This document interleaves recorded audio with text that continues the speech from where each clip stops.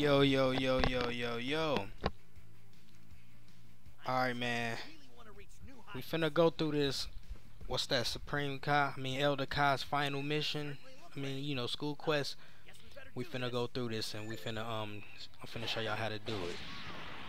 I like right there. As soon as I flew, as soon as you press circle, triangle and circle, you have to already be ready to dash behind them.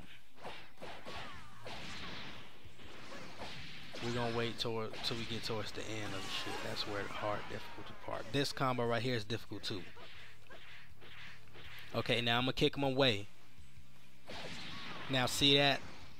You have to do it fast so you can get behind him and already be putting in the um the stamina break move. And I play on control C. Those are the controls I play on. It's much easier for me.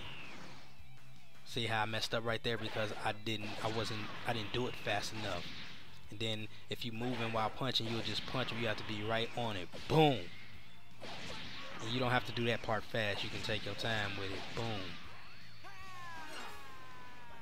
Yeah, man, it's kind of hard to explain, but I play on Control C. It's easier for me. I don't know what controls y'all play on, but as soon as you knock them away, already you should already be inputting the motion to go behind them and then set it up, stamina break them. Make sure your character is sitting still.